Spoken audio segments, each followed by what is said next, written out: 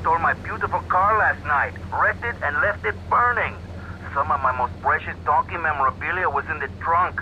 Real collectibles that are irreplaceable, my friend. I've hidden a throbbing weapon on the edge of Chinatown. Take it and teach these triad vandals to fear El Burro. Well in Darra.